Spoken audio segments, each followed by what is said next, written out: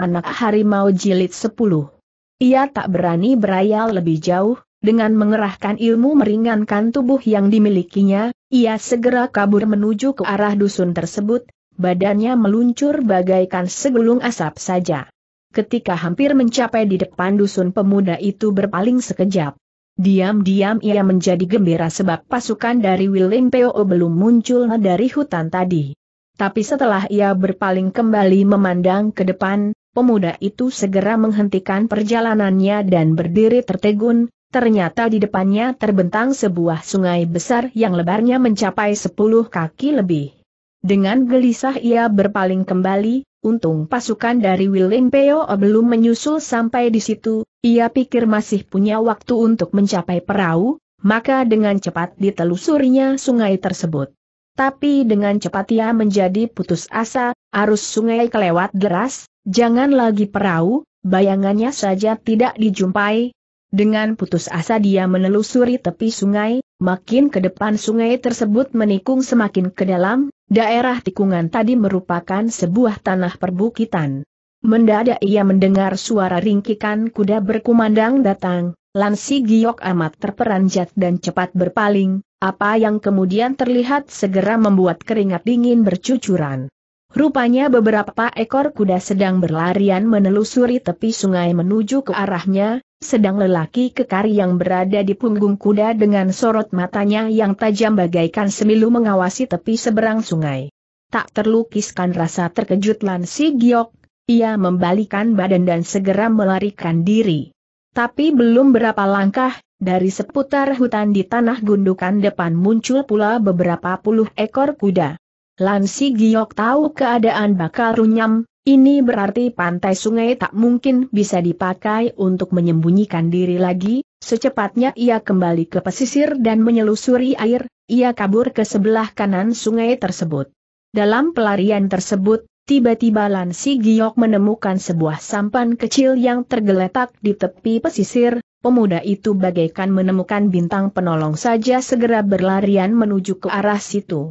Tapi, ia segera kecewa setelah dekat dengan perahu tadi, ternyata perahu yang nampak utuh dari luar, dasarnya sudah jebol dan berantakan. Pada saat itulah, dari depan situ bergema lagi suara ringkikan kuda bersamaan itu juga dari kejauhan situ berkumandang suara derap kaki kuda yang amat keras. Lansi Giok benar-benar amat gugup, bila ia sampai tersusul saat ini, jelas tiada alasan yang dapat digunakan, satu-satunya jalan hanya bertarung sampai titik darah penghabisan. Menyaksikan arus sungai yang begitu deras, ia teringat kembali ilmu berenang yang belum sempat dipelajari, tak tahan lagi pikirnya setelah menghela napas. Betapa senangnya bila ilmu berenangku kuasai, saat ini mungkin aku sudah tiba di dusun pantai seberang. Belum habis ingatan tersebut melintas lewat, sekali lagi terdengar suara ringkikan panjang yang bergema dari tempat tak jauh dari situ. Lansi Giok amat terkejut, tanpa disadari ia meraba senjata gurdi emas Chin Kim Kong Luan Jui yang melilit di pinggangnya. Dalam pada itu suara ringkikan kuda sudah semakin mendekat, suara tersebut bergema pula dari kiri dan kanan tubuhnya. Sekarang Lansi Giok berada dalam posisi yang berbahaya sekali, tak terlukiskan rasa gelisah hatinya, biar dia tahu perahu bobrok itu tak mungkin bisa dipakai untuk bersembunyi, namun terdesak oleh keadaan mau tak mau dia menerobos juga ke dalam perahu bobrok itu. Pada saat Lansi Giok baru saja melompat naik ke atas perahu bobrok dan menyembunyikan diri, suara derap kaki kuda yang amat gencar telah bergema datang dari sisi sebelah kanan. Menyusul kemudian beberapa ekor kuda berlarian mendekat bagaikan gemuruh angin puyuh. Lansi Giok menahan napas sebisa mungkin, hatinya berdebar keras, Diam-diam ia bersyukur karena tempat persembunyiannya tidak sampai ketahuan. Suara bentakan-bentakan keras bergema kemudian, agaknya pasukan yang datang dari sebelah kiri telah berpapasan dengan pasukan yang telah datang dari sebelah kanan, kemudian berhenti tak jauh dari kapal bobrok itu berada. Mendadak terdengar seseorang menegur dengan suara yang serak dan tua. Apakah kalian telah melihat Saupocu? Diam-diam Lan Giok terkesiap, ia mengenali suara tersebut sebagai suaranya Be Xiong Pak, manusia yang mempunyai banyak akal muslihat. Lapor Chong Kuan beberapa orang lelaki itu segera menjawab dengan hormat. Hamba sekalian tidak melihatnya. Diam-diam Lan Si Giok merasa keheranan juga, pikirnya. Aneh, mengapa Be Xiong Pak bisa memimpin pasukan untuk melakukan pengejaran? Karena dorongan rasa ingin tahunya, ia segera mengintip dari celah-celah perahu bobrok itu. Be Xiong Pak yang duduk di punggung kuda tampak sedang berkerut kening dengan wajah resah, sorot matanya yang tiada hentinya dialihkan ke pantai seberang sungai tersebut. Paras muka belasan lelaki berbaju kuning pun kelihatan amat serius, mereka memegang tali les kuda masing-masing dengan kencang, sementara belum membasahi tubuh-tubuh mereka maupun tubuh kuda-kuda tersebut. Sementara itu dari arah pantai berkumandang kembali suara derap kaki kuda yang sangat ramai. Seorang lelaki yang berada di sisi B Xiong Pak segera berpaling dan memandang sekejap ke arah pantai, kemudian serunya dengan nada gelisah. Congkoan, Nona telah datang. Mendengar Oh Licu telah tiba pula di tempat kejadian, Lansi Giok merasakan hatinya semakin tegang. Be Xiong Pak segera mencemplak kudanya dengan memimpin puluhan anak buahnya maju menyongsong ke tepi sungai. Derap kaki kuda dan suara ringkikan kuda yang ramai akhirnya berhenti di belakang perahu bobrok persis di sisi pesisir sungai, debu dan pasir tampak berterbangan memenuhi angkasa. Menyusul kemudian seekor kuda merah yang tinggi besar muncul pula di tempat tersebut. Lansi Giok yang mengintip keluar kembali merasakan tubuhnya gemetar keras, ternyata orang yang duduk di atas kuda merah yang tinggi besar itu tak lain adalah Oh Licu. Paras muka Oh Licu telah basah oleh air mata, matanya merah membengkak, rambutnya sedikit kusut dan cahaya mukanya hampir pudar.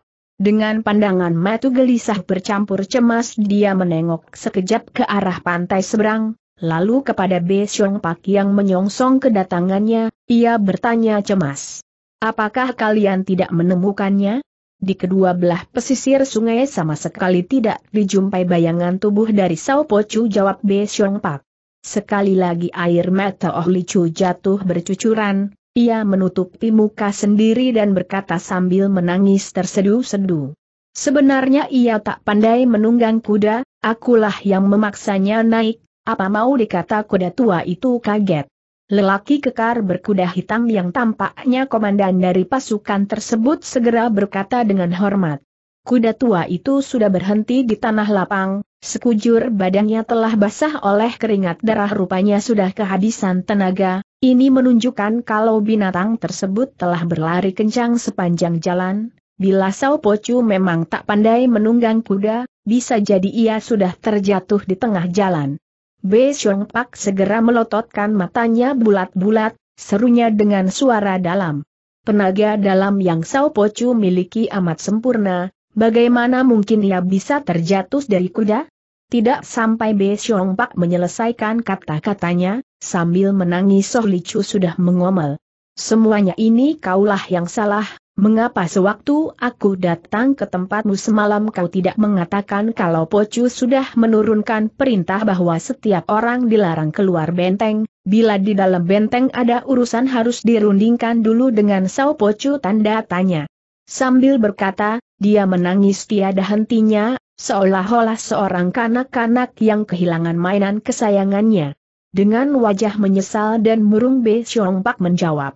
Ya memang hambalah yang teledor serta tidak berpikir sempurna, tidak kusang kalau Pocu sama sekali tidak memberi kabar kepada Nona serta Sao Pocu ketika hendak berangkat, coba kalau hamba tidak mendengar suara tampik sorak pagi tadi sehingga segera mengutus orang untuk mencari berita, mungkin hingga sekarang pun belum ku ketahui kalau Nona dan Sao Pocu telah berpesiar ke pantai telaga. Apa pula gunanya kau menyusul sampai di sini kembali Oh Licu menangis terseduh-seduh, coba kalau kau bertindak cepat semalam dengan menurunkan perintah itu ke semua penjaga pintu benteng, hari ini kami tak akan bisa keluar dan tak mungkin akan terjadi peristiwa di luar dugaan seperti ini. Yaa, kesemuanya ini memang kesalahan hamba B. Xiong Pak mengangguk berulang kali, hamba memang pantas mati, hamba memang pantas mati, sekembalinya Lopocu nanti, hamba memang tentu akan minta hukuman sendiri. Setelah berhenti sejenak, serta memandang sekejap semua orang yang berada di seputar tempat itu, dengan nada menghibur dia berkata lagi. Walaupun kita sudah mengerahkan kekuatan sedemikian besar pun belum berhasil juga menemukan kembali Sao Pocu, itu berarti besar kemungkinannya Sao Pocu telah diculik oleh si kakek berjubah kuning. Tapi Nona tak usah khawatir, Sao Pocu berbakat bagus dan berwajah cerah, sekalipun menghadapi bencana, semua bencana akan berubah menjadi rejeki, biar sekarang agak tersiksa dan menderita, toh akhirnya akan kembali juga ke Wiling Peo dengan selamat. Dalam suasana gelisah bercampur marah mana ada niat dari Oh Licu untuk mendengarkan obrolannya, dengan cepat ia menurunkan kembali tangannya dari atas wajah, lalu sambil melotot ke arah Be Xiong Pak bentaknya. Obrolan busuk siapa yang mau mendengarkan ucapanmu itu, HMM bencana bisa berubah jadi rejeki orangnya di mana sekarang? Pokoknya bila tidak kau temukan kembali Lan Si Giok hari ini, kau sendiri pun tak usah kembali ke Wilim Po. Sambil berkata ia segera mencemplak kembali kudanya dan melarikan binatang tersebut meninggalkan tempat tersebut. Be Xiong Pak termangu melihat kemarahan nonanya, tanpa terasa teriaknya keras-keras. Nona tunggu dulu, Nona, tunggu dulu hati-hati kalau sampai terjatuh dari kuda. Sembari berteriak, dengan gugup dia melarikan pula kudanya untuk menyusul dari belakang. Kawanan lelaki lainnya serentak membentak dan melarikan kuda masing-masing dalam waktu singkat kedua tiga puluhan kuda tersebut telah berlalu semua mengikuti di belakang Oh Licu. Lansi Giok menghembuskan napas panjang, perasaan tegang yang sempat mencekam perasaannya kini pun berkurang, diam-diam ia melompat keluar dari perahu. Sepanjang pesisir dijumpainya penuh dengan bekas kaki kuda, melihat itu dia baru mengerti apa sebabnya Oh Licu tidak mengirim orang untuk memeriksa perahu bobrok tersebut. Agaknya perahu itu kelewat bobrok dan mustahil bisa dipakai untuk bersembunyi, ditambah pula seputar pesisir sudah penuh dengan bekas telapak kaki kuda dia mengira pasukan sebelumnya telah melakukan pemeriksaan di sana. Apalagi Be Xiong Pak serta Oh Licu pada hakikatnya tidak mengetahui kalau dia berniat melarikan diri. Sedang maksud Oh Tin San suami istri pergi tanpa pamit semalam, di mana dia hanya memberitahukan kepada Be Xiong Pak dan melarangnya memberitahukan kepada Oh Licu jelas hal ini untuk mencegah putrinya pergi keluar, dan tentu saja takut kalau dia menggunakan kesempatan tersebut melarikan diri. Kalau didengar berdasarkan pembicaraan Besyong Pak dengan Oh Licu, ia yakin kedua orang tersebut masih belum mengetahui asal-usulnya yang sesungguhnya, dia pun percaya Oh Tin San tak berakal membicarakan rahasia tentang kotak kecil tersebut dengan mereka. Kelancaran yang diperolehnya dalam usaha melarikan diri kali ini benar-benar berkembang di luar dugaan, apa yang direncanakan semalam boleh dibilang semuanya tidak berguna, karena tak satu pun yang terpakai saat ini. Berpikir sampai ke situ, tanpa terasa ia menggelengkan kepalanya sambil tertawa, pikirnya. Yaa, siapa yang bisa menduga perubahan yang bakal terjadi di dunia ini? La berjalan menuju ke pantai depan sana dan mendongakkan kepalanya, udara amat bersih, di kejauhan sana hanya kedengaran suara derap kaki kuda yang makin menjauh. Dengan cepat pemuda itu menelusuri pantai menuju ke arah timur laut. Sebelum malam tiba dia harus sudah tiba di rumah kediaman bibiwannya. Sementara itu matahari sudah tenggelam di langit barat Lansi Giok merasa lapar, dahaga, gelisah pula, kalau dapat dia ingin secepatnya tiba di rumah kediaman bibinya. Sesudah menembusi hutan dan mendaki sebuah bukit kecil, dari kejauhan sana mulai nampak tanggul telaga Huan yang oh. Lansi Giok percepat langkahnya menuju ke muka. Dari puncak bukit kecil, ia saksikan di bawah lembah sana masih nampak puluhan ekor kuda mondar-mandir melakukan pencarian, pada dermaga telaga tiga buah kapal perang berlabuh di situ. Lansi Giok tak berani meneruskan perjalanannya, terpaksa dia harus berhenti di situ dan menunggu sampai kapal-kapal perang dari Willing Peo tersebut berlalu sebelum meneruskan perjalanannya. Senja lewat, malam hari pun tiba, suasana remang-remang telah mulai menyelimuti seluruh angkasa. Cahaya lentera mulai berkelap-kelip di arah dusun nelayan sana. Di atas ketiga kapal perang pun telah dikerek naik sembilan buah lentera besar berwarna merah. Beberapa saat kemudian di tengah kegelapan yang mulai mencekam seluruh angkasa, lamat-lamat kedengaran suara orang menghardik dan ringkikan kuda. Lansi Giok tahu, pihak William Peo sudah mulai menarik pasukannya kembali ke kapal, oleh sebab itu dia pun membayangkan kembali keadaan Oh Li Chuntah. Bagaimanakah perasaan perempuan itu kinilah teringat pula cinta kasih serta perhatian dari Oh Li Chu terhadapnya selama beberapa hari belakangan ini, terutama sekali usahanya untuk mencarikan obat penawar racun baginya, tentu saja ia tak dapat berpeluk tangan belaka terhadap cinta kasihnya itu. Ia terbayang pula bagaimana Oh Licu menangis karena sedih dan gelisah, kesemuanya ini membuat hatinya terharu, betul ia tidak terlalu menyukainya, tapi perhatian dan kasih sayangnya tak mungkin bisa dilupakan dengan begitu saja. Diam-diam ia bersumpah di dalam hati, bila di kemudian hari Oh Licu membutuhkan sesuatu kepadanya, ia bersedia mengawulkan permintaannya demi membayar semua kebaikannya selama ini. Namun permintaan mana tidak termasuk memperistri dirinya, sebab di kemudian hari dia ingin mempersunting enciciannya sebagai istri, sekalipun ia tidak tahu apakah encician mencintainya atau tidak. Teringat kembali enciciannya, Lansi Giok segera mengerahkan kembali ilmu meringankan tubuhnya dan menuruni bukit tersebut dengan cepat. Ia dapat melihat ke sembilan lentera merah di arah telaga sudah mulai bergerak pelan-pelan, agaknya kapal perang dari Willing PO tersebut sudah mulai berangkat pulang. Dengan perasaan lega Lansi Giok mempercepat langkahnya berlarian di tengah kegelapan. Berapa waktu kemudian, ia telah tiba di belakang dusun kecil tempat kediaman bibiwannya, suasana dalam dusun itu amat hening, cuma satu dua buah rumah saja yang masih bersinar. Sampai di situ, mau tak mau Lansi Giok harus meningkatkan kewaspadaannya, lama sekali ia berdiri tegak sambil memperhatikan keadaan di sekitar situ adakah sesuatu yang mencurigakan, kemudian pelan-pelan ia baru menuju ke rumah kediaman bibiwannya. Waktu itu udara sangat gelap, tiada rembulan, hanya beberapa biji bintang yang berkelipan, angin malam yang berhembus lewat membawa suara deburan ombak dari tanggul telaga. Dalam perjalanan, ia saksikan cahaya lentera dalam kamar enciciannya masih terang benderang, dia keheranan, semalam ini mengapa enciciannya belum juga tidur padahal biasanya sudah naik ke atas pembaringannya. Dengan meningkatkan kewaspadaannya dia maju terus ke depan, sementara telinganya dipasang lebar-lebar, namun betapa terkejutnya dia setelah mendengar suara isak tangis dari enciciannya yang lamat-lamat bergema datang dari kamar tidurnya.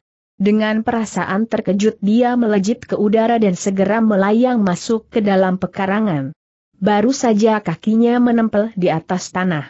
Mendadak dari dalam kamar tak bersinar di sisi kamar enciciannya bergema suara teguran yang lembut.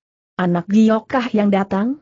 Seperti anak yatim piatu yang tiba-tiba mendengar suara panggilan ibunya, air mata segera bercucuran membasahi wajah Lansi Giok, namun ia tetap menjaga kewaspadaannya terhadap keadaan lingkungan, setelah memanggil bibi dengan lirih, ia menerjang masuk ke arah jendela. Jendela belakang terbuka dan wajah bibinya muncul dari balik tirai, dipandangnya Lansi Giok dengan terkejut lalu bisiknya. Ayo cepat masuk. Sambil berusaha keras mengendalikan rasa pedih di dalam hatinya, Lansi Giok melompat terus masuk ke dalam ruangan, sedang Bibi Wan melirik sekejap ke sekeliling halaman dengan seksama, kemudian cepat-cepat menutup kembali daun jendelanya. Anak Giok apakah selama beberapa hari ini kau tidak kembali ke kuburan kuno? Lansi Giok segera menubruk ke dalam pangkuan bibinya dan menangis terseduh, tapi hanya sebentar saja karena dengan cepat isak tangisnya berubah menjadi sesenggukan belaka. Tampaknya Bibi Wan sudah merasakan firasat jelek, dengan gelisah ia bertanya. Anak Giok, di mana ayahmu? Lama sekali Lan Si Giok sesenggukan sebelum sahutnya amat pedih. Ayah telah dibunuh orang. Untuk sesaat suasana dalam ruangan menjadi hening, dengan jelas Lan Si Giok dapat mendengar debaran jantung Bibi Wan yang semakin bertambah kencang. Cahaya api berkilat, ruangan segera menjadi terang benderang.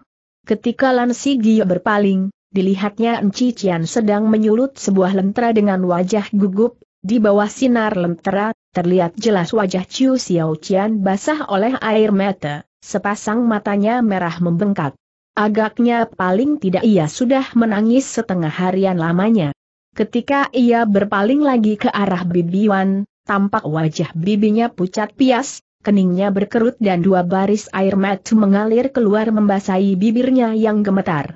Dengan pandangan kosong ia mengawasi sudut ruangan, agaknya sedang merenungkan sesuatu.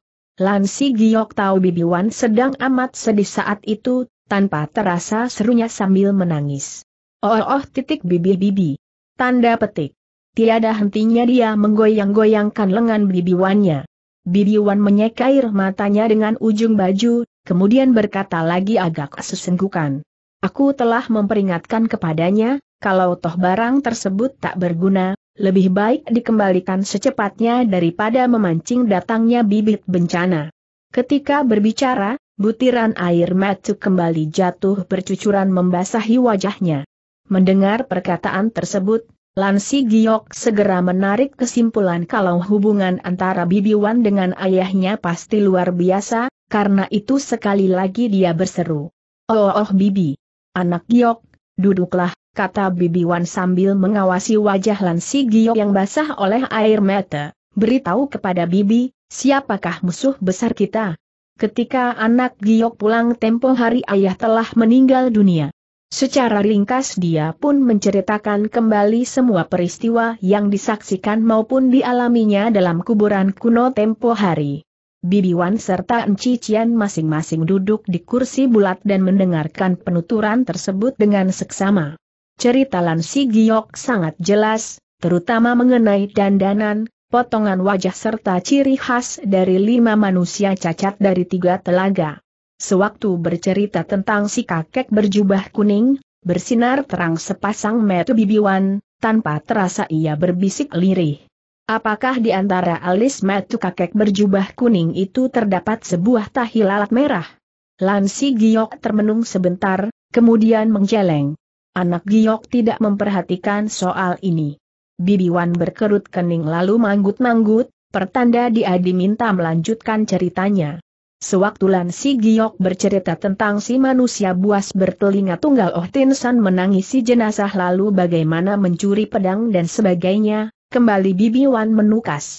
Menilai seseorang jangan berdasarkan wajah saja, tapi jangan pula dinilai dari sikapnya dan caranya berbicara manis, biarpun kaum laknat pandai berbicara, toh akhirnya bakal salah berbicara juga, asal kau bersedia memperhatikan dengan seksama, tidak sulit untuk mengetahui baik tidaknya seseorang, seperti manusia bangsa Ohtinsan, kenyataannya kau dapat dikibuli.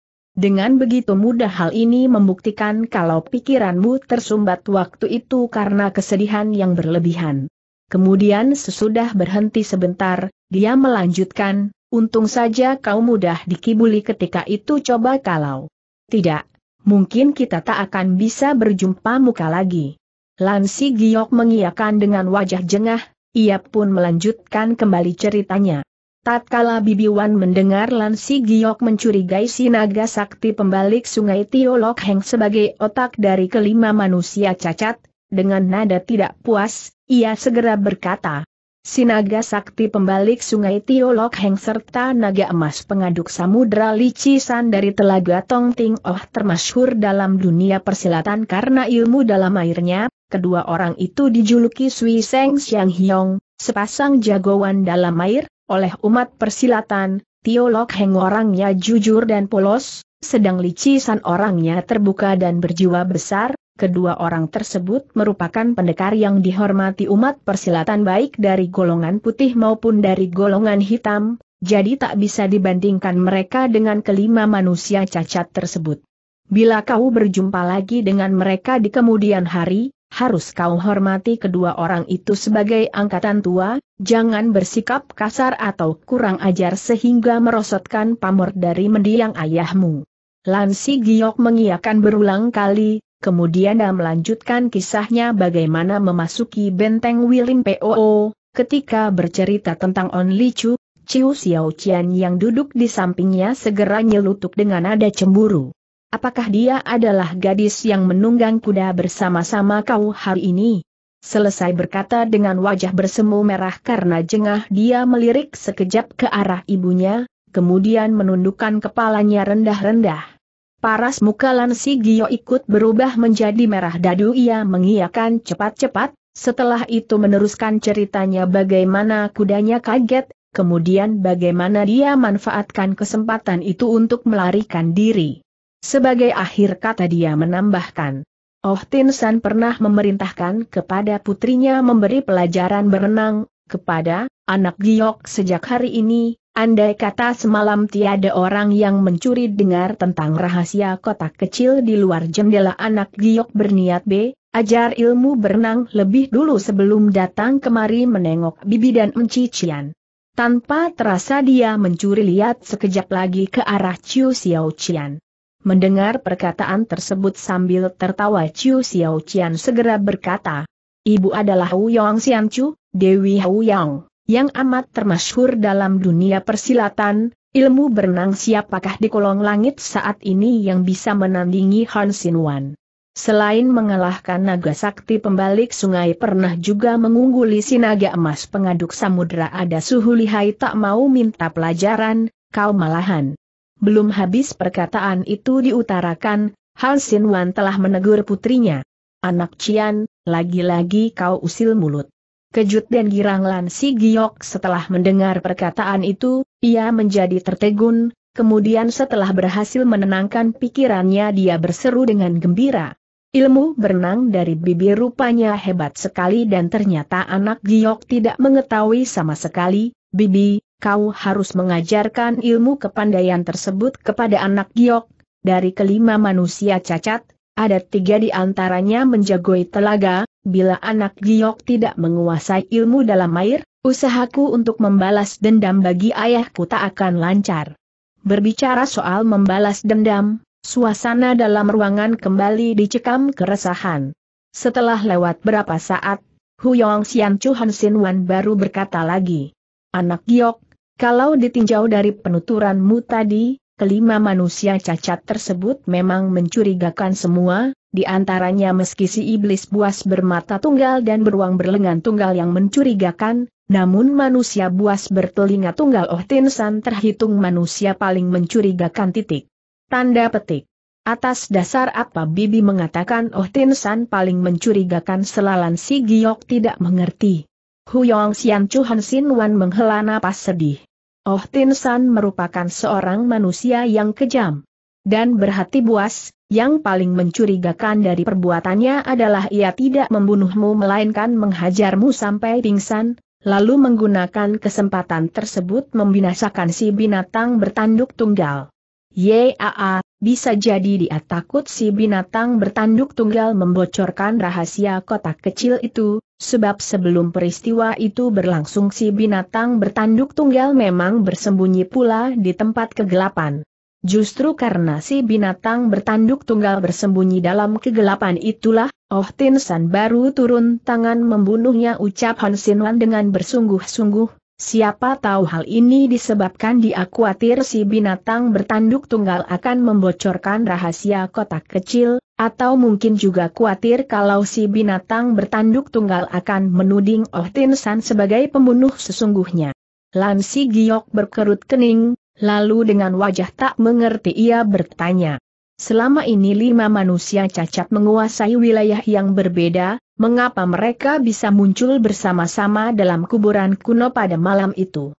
Sekilas perasaan sedih segera menghiasi wajah Wu Yong Xianchu, ujarnya sedih. Sudah banyak tahun Bibi bersembunyi di tepi telaga, sedikit sekali masalah dunia persilatan yang ku ketahui, sedang tokoh-tokoh lima manusia cacat pun baru muncul berapa tahun belakangan ini seperti misalnya si tongkat besi berkaki tanggal Gui Pak Chiang yang kau maksudkan, dulunya ia lebih dikenal sebagai Kun Lui Koai, tongkat geledek, yang merajai wilayah Soalem, apa sebabnya mereka bisa berkumpul pada malam yang sama, Bibi sendiri pun kurang jelas. Berbicara sampai di situ, dia melirik sekejap ke arah putri kesayangannya, lalu sambil mengulumkan senyuman, lanjutnya. Sedangkan mengenai belajar ilmu berenang, Bibi sudah kelewat tua sehingga tak mungkin bisa mengajarkan sendiri kepadamu. Apa? Bibi sudah tua Lansi Giok melongo.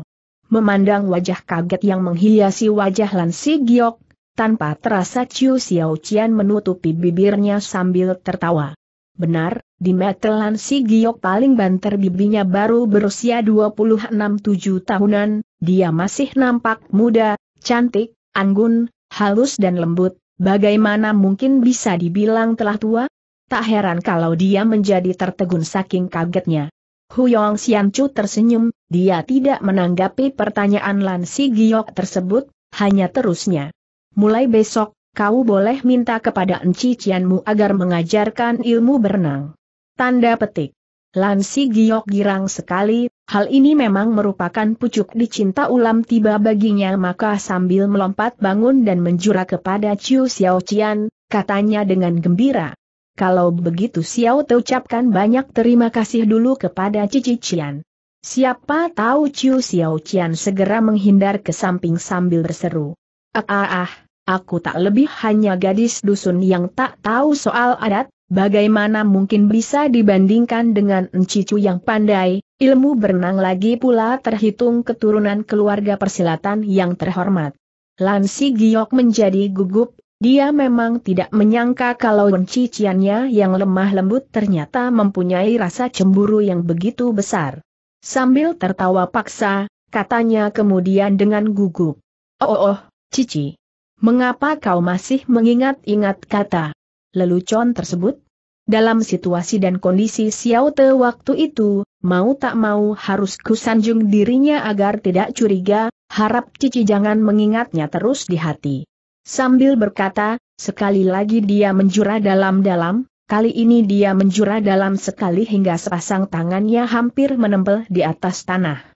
Ciu Xiao Qian yang terbayang kembali bagaimana ia merasa kecewa, menderita dan malu serta pelbagai perasaan lain yang bercampur aduk, tak tahan lagi katanya dengan hambar.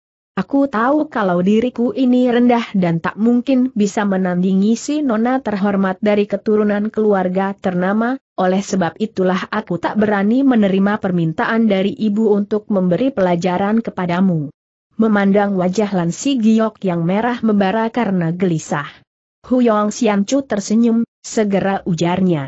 Xiao Qian, bagaimanakah posisi adik Giokmu waktu itu tentunya sudah kau ketahui, buat apa sih mesti menyiksa dia? Mendengar bibinya membelai dia, dari murung Lan Si Giok menjadi gembira, memanfaatkan kesempatan itu ujarnya sambil tertawa.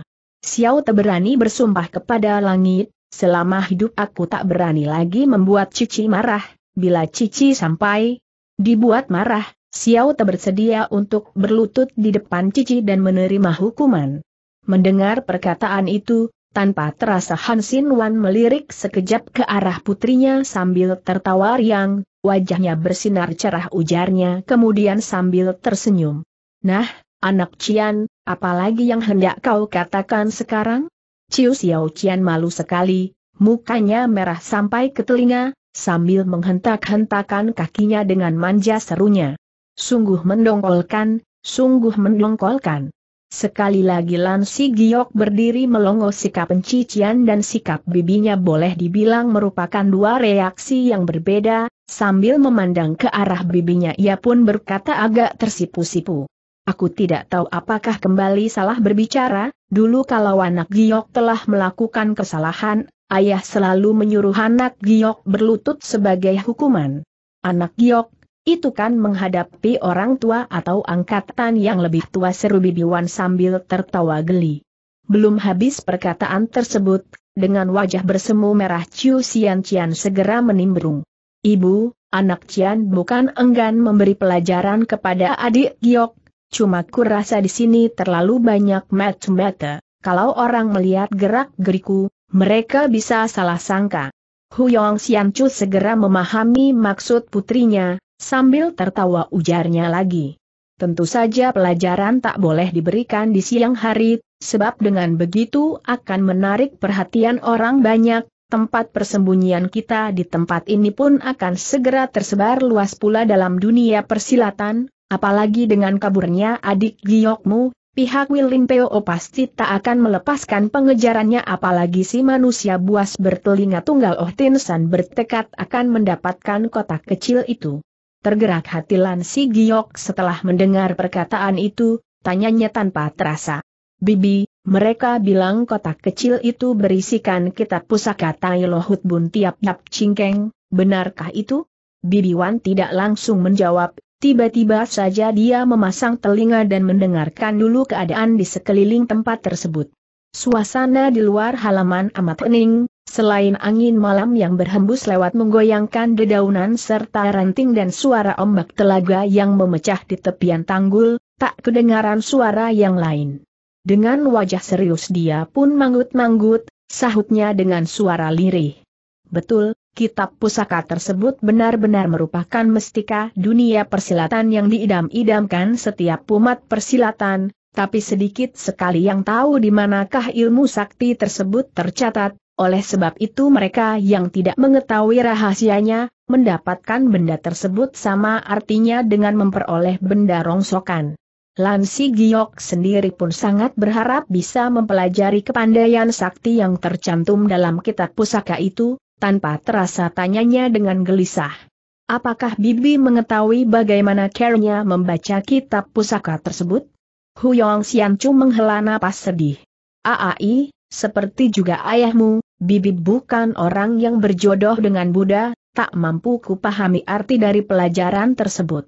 Betapa kecewanya Lan Si Giok setelah mengetahui hal ini, Bukankah kejadian tersebut sama artinya dengan ayahnya telah mengorbankan selembar jiwanya demi suatu benda rongsokan? Apakah hal ini tidak kelewat tidak berharga? Sementara dia masih termenung, terdengar Bibi Wan kembali berkata, Bibi pernah menasehati ayahmu, kalau toh tak dipahami rahasia dari kitab pusaka tersebut, lebih baik segera dikirim kembali saja. Tergerak hati Lan Si Giok setelah mendengar perkataan itu buru-buru ia bertanya. Bibi, dari manakah ayah peroleh kotak kecil itu? Sorot mata Bibi Wan menjadi redup, seakan-akan terbayang kembali kisah di masa silam, lama kemudian dia baru berkata. Bibi hanya tahu, ayahmu telah berjumpa dengan kekasihnya yang telah menikah di bawah puncak Giok Li Hang di Bukit Hoasan dan secara kebetulan juga mendapatkan kotak kecil itu, sedang keadaan yang sebenarnya tidak Bibi ketahui. Lansi Giok hanya ingin cepat-cepat mengetahui kisah ayahnya sampai mendapatkan kotak kecil itu, karenanya ia tidak terlalu memperhatikan perubahan wajah bibinya. Saat ini satu ingatan tiba-tiba melintas di dalam benaknya, dengan nada memohon segera ujarnya. Bibi, bersediakah kau mengeluarkan kotak kecil itu agar Giokji periksa? Sekarang hari sudah malam, siapa tahu dengan tenaga pikiran Giokji, Bibi dan encician kita akan berhasil memahami rahasia kitab pusaka tersebut? Baiklah, sahut Huyong Xiancu tanpa ragu-ragu, malam ini, mari kita lihat sampai di manakah rezekimu. Ia beranjak menuju ke jendela belakang dan mengintip sekejap keadaan di sekitar sana dengan cekatan, kemudian tubuhnya melompat keluar dan sekejap kemudian sudah lenyap dari pandangan. Ketika Lansi Giok turut menengok ke depan, rembulan nampak bersinar cerah, daun dan ranting bergoyang lembut, sedang bintang berkedip-kedip memancarkan cahayanya, tengah malam sudah lewat. Bayangan manusia kembali berkelebat lewat, Bibiwan dengan jurus walet lincah menerobos tirai sudah melayang masuk kembali ke ruangan, gerakan tubuhnya ringan dan sama sekali tidak menimbulkan suara. Lansi Giok menutup jendela dengan cepat kemudian berpaling, ternyata di tangan Bibiwan telah bertambah dengan sebuah kotak kecil berwarna kuning yang 4 inci lebarnya. Berhubung Lansi Giok sudah tahu kalau isi kotak tersebut berisikan sejilid kitab pusaka, maka dalam hati kecilnya timbul perasaan hormat. Biarpun bibiwannya terhitung seorang pendekar wanita yang namanya menggetarkan dunia persilatan, setelah memegang kotak kecil berisi kitab pusaka itu, toh, terpengaruh juga oleh emosi, wajahnya berubah menjadi serius dan sepasang tangannya turut gemetar. Dengan hormat sekali Lan Si Giok menerima kotak kecil itu kemudian setelah melepaskan kain kuningnya, pelan-pelan ia membuka penutup kotak itu. Di dalam kotak itu berisikan tiga buah daun emas yang panjangnya beberapa inci, sinar gemerlapan segera memancar ke mana-mana. Lama sekali Lan Si Giok memperhatikan benda tersebut namun gagal untuk menemukan sesuatu yang mencurigakan, Apalagi ketiga lembar daun emas itu tidak beraksara tidak pula bergambar, polos dan halus sekali. Huyong Xian Chu serta Chu Xiao Qian berdiri membungkam di belakang Lan Si Giok. Mereka pun berusaha memusatkan segenap perhatiannya untuk turut memeriksa ketiga lembar daun emas tadi, namun apa yang ditemukan tak lebih cuma daun emas biasa. Untuk beberapa saat lamanya, Suasana di sekeliling tempat itu dicekam dalam keheningan yang luar biasa sedemikian heningnya sampai masing-masing dapat mendengar detak jantung lawannya. Mendadak. Dari arah tepi telaga sana, lamat-lamat kedengaran suara yang amat lirih. Pertama-tama Hu Yong Xianju yang merasakan lebih dulu, dengan cepat dia mengebaskan tangannya untuk memadamkan lentera, seketika itu juga suasana dalam ruangan dicekam kegelapan. Lan Si Giok sangat terkejut, cepat-cepat dia menutup kembali kotak tersebut dan menyerahkannya kembali kepada Bibi Wan. Sedangkan Chiu Xiao Qian memasang telinga baik-baik sembari mengedipkan matanya, lalu dengan nada kaget ia berbisik. Ibu, seperti ada perahu yang merapat di tepi telaga dengan langkah terburu-buru dia menuju keluar. Membuka pintu rumahnya sedikit lalu mengintip keluar segulung angin dingin berhembus masuk, Udara terasa sedikit dingin. Lan Si Gio menyusul di belakang Chiu Xiao Qian, mereka bersama-sama berdiri di belakang pintu. Ketika Chiu Xiao Qian mengetahui adik Gioknya menyusul, dengan cepat ia memberi tanda, lalu menarik tangan pemuda itu dan diajaknya menuju ke pintu pekarangan. Ketika Lan Si Giok merasa tangannya digenggam oleh tangan enciciannya yang halus dan lembut seakan-akan tak bertulang, Segulung hawa panas yang segar dengan cepat menyusup ke dalam lubuk hatinya.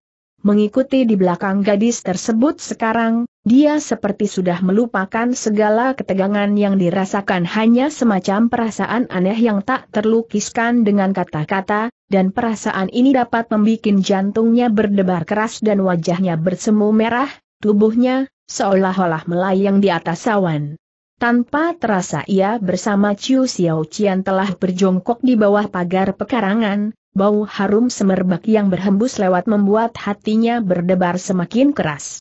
Di antara bau harum itu, terselip pula bau harum khas dari enciciannya, dan bau tadi membuat ia merasa gembira dan sangat nyaman. Sudah lama dia mimpikan menggenggam tangan enciciannya yang lembut, dan kini harapannya telah menjadi kenyataan, tanpa disadari ia menggenggam tangan Chiu Xiao Qian semakin kencang.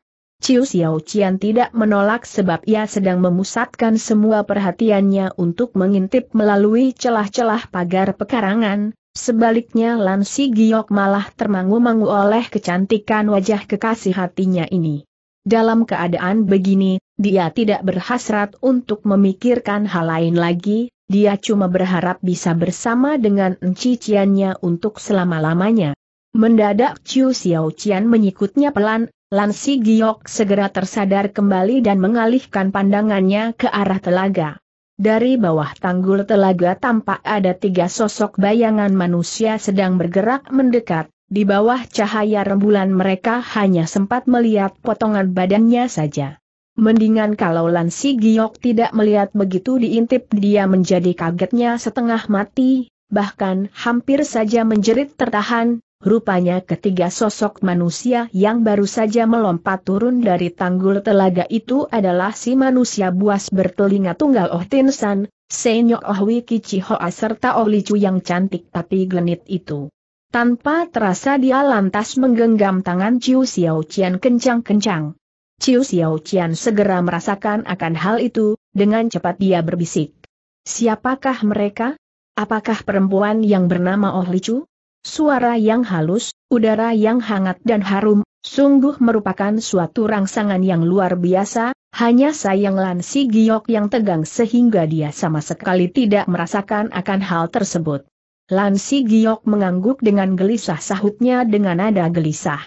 Bukan hanya Oh Li Chu seorang, kedua orang lainnya adalah orang tua mereka, Oh Tin San serta Senyok Ohui. Sewaktu Chiu Xiao Qian mendengar perkataan itu dia seperti agak terkejut pula, Cepat-cepat dia mengangguk dan kemudian mengalihkan kembali sorot matanya ke arah tepi telaga. Dalam pada itu Oh Tin San dan Senyok Oh Hui sedang memberi gerakan tangan kepada Oh Li Chu, agaknya dia sedang menanyakan kejadian yang dialaminya hari ini kalau ditinjau dari wajah Oh Tin San tampaknya dia amat gusar.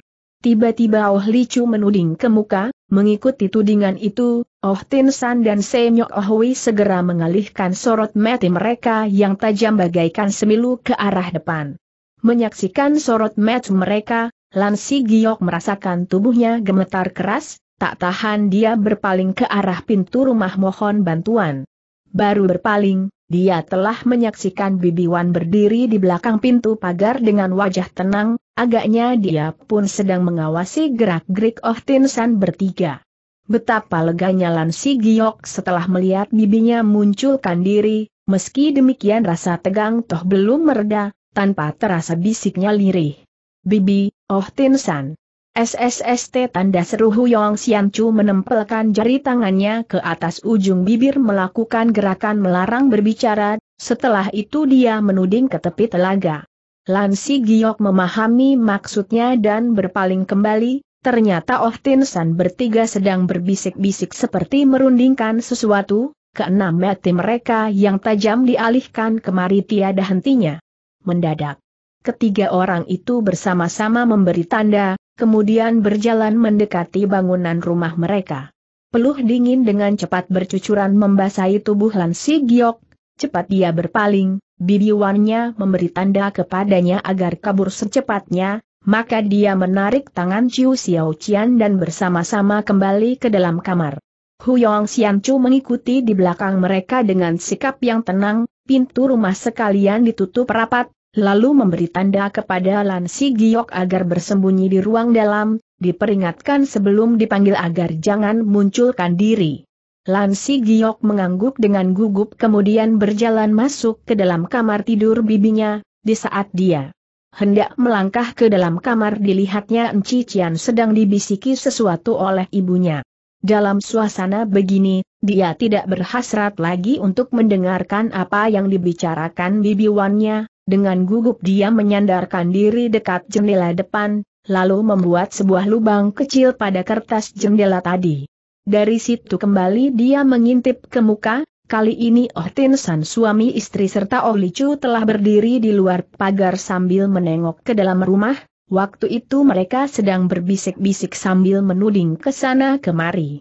Sorot mata sesat kelihatan mencorong keluar dari balik mata Oh Tin San, dengan wajah penuh amarah dia mengawasi Oh Li Chu, sementara tangannya yang kurus kering menuding ke sana kemari seperti lagi menanyakan sesuatu. Rambut Oh Li Chu sangat kusut, keningnya berkerut dan bibirnya cemberut, sementara sepasang matanya telah merah membengkak karena kebanyakan menangis. Saat ini dia mengenakan pakaian ringkas berwarna merah, sebilah pedang tersorot di punggungnya. Senyok Ohwi Kici Hoa berkerut kening juga, sekalipun dia sayang anak tapi berhubung masalahnya menyangkut suatu urusan besar, maka dia seakan-akan tak sanggup lagi untuk membendung amarah Oh Tin San terhadap putrinya. Sementara itu, Oh Li Chu telah mengangguk dengan pasti, dia menuding ke arah pepohonan di tengah halaman. Tanpa banyak membuang waktu, Oh Tin San segera melejit ke udara dan melayang turun ke dalam halaman, sedangkan Senyok Ohui serta Oh Li Chu mengikuti di belakangnya. Baru saja mereka bertiga menginjakan kakinya ke atas tanah. Kraat. Tahu-tahu pintu depan terbuka lebar. Huyong Xian Chu dengan wajah yang anggun dan tenang telah berdiri angker di depan pintu. Kemunculan tuan rumah yang amat tiba-tiba ini sangat mengejutkan Oh Tin San suami istri, agaknya kejadian tersebut sama sekali di luar dugaan, Tapi hanya sebentar saja paras muka mereka segera pulih kembali seperti sedia kala dan menunjukkan sikap angkuh. Huyong Xianchu tidak menunjukkan sikap apa pun, malah dengan senyum di kulum dia melangkah keluar dari dalam ruangan. Paras muka Oh Tin San suami istri berubah hebat, setelah berseru tertahan mereka mundur setengah langkah, tapi dalam waktu singkat mereka berhasil menguasai kembali keadaan, senyum dingin segera menghiasi lagi ujung bibir mereka. Setelah berdiri tegak, sambil tertawa hambar Huyong Xianchu berkata, Selama ini kalian menjagoi dunia persilatan dengan bercokol di benteng Wiling POO, nama besarnya sudah termasyhur sampai di seantero dunia kami ibu dan anak beruntung sekali bisa hidup bertetangga dengan kalian dengan mendirikan gubuk kriut di tepi telaga kemudian setelah memandang sekejap ke arah Oh Licu, dia melanjutkan. Kini, malam sudah larut, Entah ada persoalan apa kalian suami istri bersama putri kalian berkunjung kemari? Gubuk kami reyut bila tidak keberatan silahkan masuk ke ruangan untuk minum teh dulu. Merah padam selembar wajah Oh Tin San dia mendongakkan kepalanya dan tertawa terbahak-bahak, sahutnya sambil tertawa nyaring. Huyong Xianchu adalah seorang pendekar wanita yang namanya sudah menggemparkan lima telaga dan sekarang hidup menyendiri di tepi telaga untuk mencari kehidupan yang aman damai. Kami suami istri berdua tak lebih hanya manusia kasar bila lihiap tidak berbohong, tentunya sudah kau ketahui bukan apa maksud kunjungan kami pada malam ini. Huyong Xianchu berkerut kening, kemudian gelengkan kepalanya dengan tidak mengerti, ujarnya hambar. Entah apa maksudmu. Paras muka Oh Tin San berubah, setelah tertawa dingin katanya dengan suara dalam. Bila kau mengaku tak tahu, tak ada salahnya aku berbicara secara belak-belakan malam ini sengaja kami datang untuk mengambil kembali kitab pusaka Tailo Tiap Yap Cingkeng, sebagai manusia yang berpengalaman, tentunya kau tahu bukan sepasang tangan susah melawan empat tangan, biarpun kami bertiga sadar bukan tandingan lihiap, tapi untuk membela diri, terpaksa kami akan mengerubut Lihiap. Dengan wajah berlagak kaget bercampur keheranan Yong Xianchu segera berseru. Kotak kuning itu diserahkan oleh gurdi emas peluru perak lantai hiap kepadaku agar disampaikan kepada seorang ciampual, aku seperti tak pernah mendengar harus menyerahkannya kepadamu. Berubah paras muka Oh Tin San setelah mendengar ucapan itu, Tak sampai Hu Yong Xianchu menyelesaikan kata-katanya, ia sudah bertanya dengan wajah kaget. Siapakah Ciancu itu? Hu Yong Xianchu menggelengkan kepalanya berulang kali.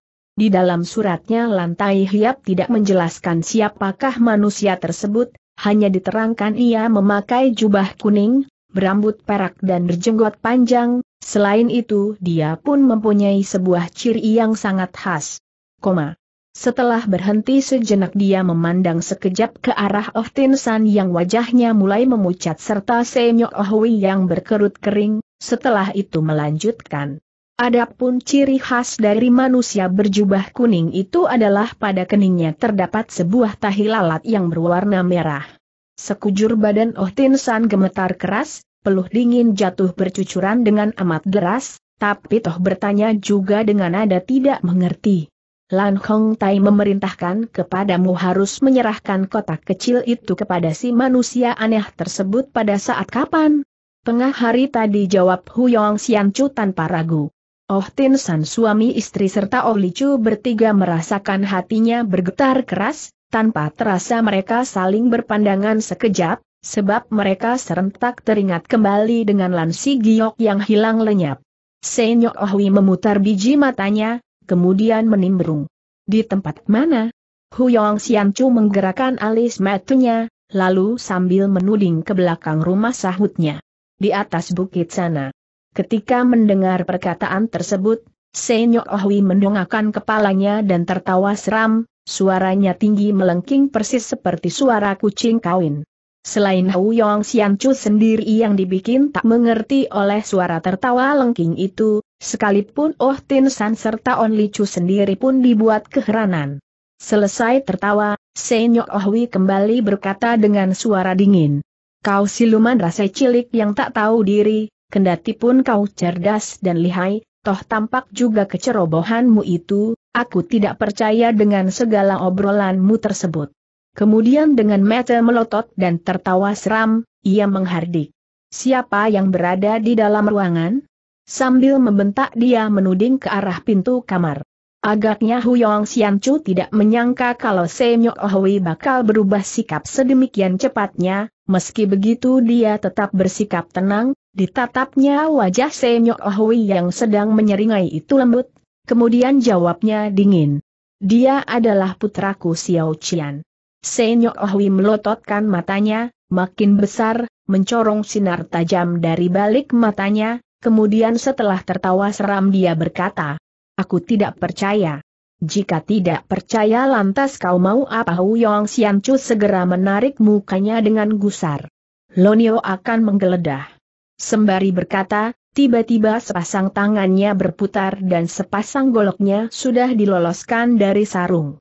Sementara itu keberanian Oh Tin San pun nampaknya semakin menjadi, tenaga dalamnya dihimpun ke dalam telapak tangan, lalu dia bersiap-siap untuk menerkam ke muka. Kering cahaya tajam berkilauan, Oh Licu telah meloloskan pula pedangnya. Berubah hebat paras muka Lansi Giok yang mengintip dari balik jendela, dia benar-benar tak menduga kalau situasi di dalam halaman akan mengalami perubahan sedemikian cepatnya. Karena kaget dan cemas, dan gugup anak muda itu melompat turun dari pembaringan lalu melompat ke jendela belakang dan membukanya dengan cepat. Tapi, seperti disambar guntur di siang hari bolong, Lansi Giok tertegun lalu melongot, sekalipun dia ternganga karena kagetnya, untung tiada suara yang terpancar keluar. Si kakek berjubah kuning yang berwarna halus dan lembut itu tahu-tahu sudah muncul di luar jendela dengan senyuman di kulum. Memandang si kakek berjubah kuning yang berdiri di luar jendela itu, Lansi Giok termangu-mangu, kepalanya terasa pusing tujuh keliling, Hampir saja ia roboh tak sadarkan diri karena terkejutnya. Mimpi pun ia tak pernah mengira bakal menjumpai kakek berjubah kuning itu di rumah bibiwannya. Sementara dia masih termangu, tampak bayangan manusia berkelebat lewat, kakek berjubah kuning itu sudah melompat masuk ke dalam ruangan dengan enteng tanpa menimbulkan sedikit suara pun. Diam-diam Lansi Giok amat terkejut, kendati pun dia sudah tahu kalau si kakek berjubah kuning itu memiliki kepandaian silat yang sangat lihai, tapi ilmu meringankan tubuh yang demikian sempurnanya ini pada hakikatnya belum pernah didengar atau dilihat olehnya. Sementara ia masih termenung, kakek berjubah kuning itu telah menepuk-nepuk bahunya dengan lembut wajahnya sangat ramah penuh senyuman, sesudah memberi tanda agar jangan berisik, dia berjalan menuju ke pintu gerbang. Dalam pada itu suara bentakan gusar dari Hu Yong Chu telah berkumandang lagi dari tengah halaman. Oh Tin San, kuanjurkan segera kau ajak istri dan putrimu untuk pergi meninggalkan tempat ini, jangan mencari penyakit di tempat ini, jangan lagi Lan Si Giok telah diajak tokoh silat itu belajar silat di pegunungan terpencil, sekalipun ia berada dalam rumah, Bayangkan saja, apakah kalian sanggup melewati diriku sebelum dapat memasuki ruangan ini? Oh Tin San termasuk manusia licik yang banyak curiga betul juga, kecurigaannya segera timbul setelah mendengar perkataan itu terutama setelah mendengar kalau Lan Si Giok telah diterima tokoh silat itu sebagai muridnya, dia merasa kepalanya seperti dipukul dengan tongkat besar. Dengan buas penuh kebencian Senyok Ohui melotot sekejap ke arah Wu Yong Chu, lalu setelah tertawa dingin katanya. HMM, sekalipun kau sudah bercerita yang aneh-aneh, sayang sekali aku tidak percaya kalau dalam dunia ini terdapat kejadian yang begitu kebetulan, Hu Yong Chu memang termasyhur sebagai perempuan cantik, tapi sekalipun kepandaian silatmu lebih hebat pun jangan harap bisa menandingi kami bertiga. Tanda petik. Tergetar juga perasaan Hu Yong Chu, tidak sampai Senyok Ohui menyelesaikan kata-katanya, dia telah menyela dengan dingin. Kici Hoa, kau tak usah bersilat lidah, kalau toh kau yakin gabungan tenaga kalian bertiga sanggup mengatasi diriku, silahkan dicoba, asal satu di antara kalian bertiga sanggup melewati diriku dan memasuki ruangan, bukan saja aku Hon Sin Wan akan serahkan Lan Si Giok kepada kalian, kitab pusaka Tai Ohut Bun Wee Yap Chin Keng pun akan ku persembahkan kepada kalian bertiga.